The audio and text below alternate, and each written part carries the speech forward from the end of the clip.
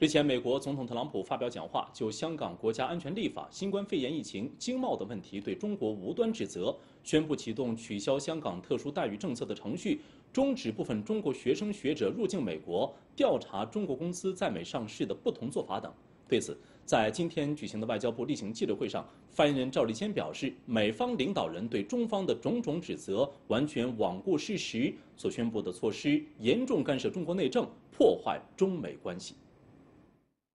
美方领导人对中方的种种指责，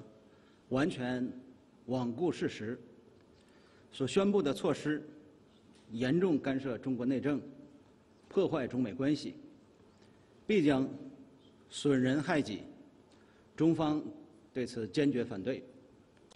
赵立坚强调指出，香港事务纯属中国内政。中国全国人大就建立健全香港特别行政区维护国家安全的法律制度和执行机制作出决定，目的是弥补香港特别行政区在国家安全法方面的缺失，维护香港长期稳定繁荣。中国全国人大就建立健全香港特别行政区维护国家安全的法律制度和执行机制作出决定。以便更好地贯彻“一国两制”，维护香港长期稳定繁荣，任何外国对此都无权干涉，也不应干涉。美方对香港国家安全立法横加干涉，完全违背国际法和国际关系基本准则，是注定要失败的。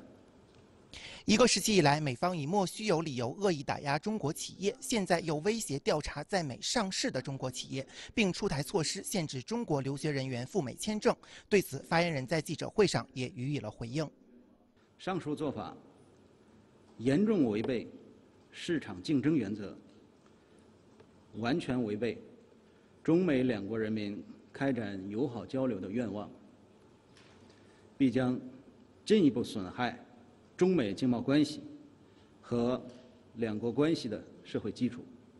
此外，赵立坚还强调，中方将坚定捍卫自身主权、安全、发展利益。美方任何损害中方利益的言行，都将遭到中方坚决回击。美方阻挡中国发展壮大的图谋，注定不会得逞。